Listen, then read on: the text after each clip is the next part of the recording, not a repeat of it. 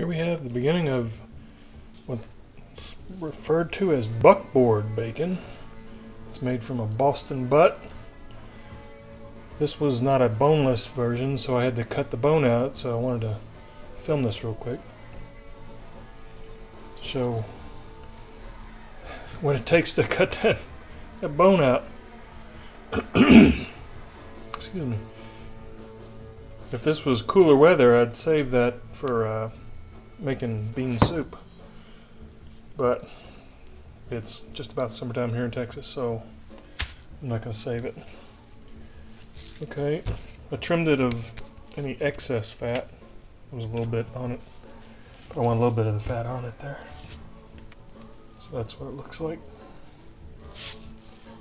Then I've got the uh, standard cure that I normally use for bacon. It's a quarter cup kosher salt, quarter cup brown sugar, quarter cup maple syrup, and I decided this time to use two teaspoons of Morton's Tender Quick, which is sodium nitrate, sodium nitrate.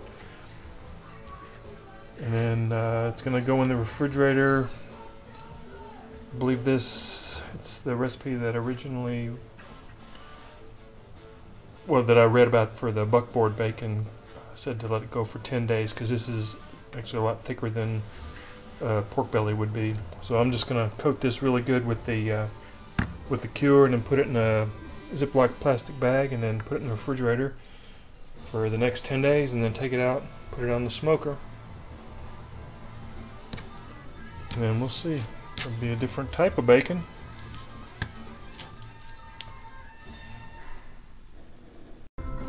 Here's the finished product of the buckboard bacon. Just got it, took it off of the smoker where it's been smoking with hickory for three hours. Smells really good. I'm gonna let it cool off. Actually a little taste off the end there. That right there tastes really good. I can't wait till it cools down and I can slice it and then fry it up for some awesome BLTs. Just might have to start uh, making a lot more of this type of bacon. Since how the Boston butt is a lot easier to get a hold of than the, the pork belly.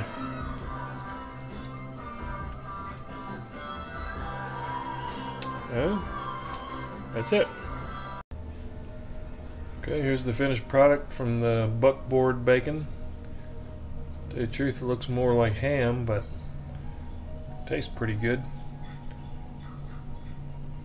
This has been smoked and sliced. Actually, kind of thick for bacon. smells awfully good.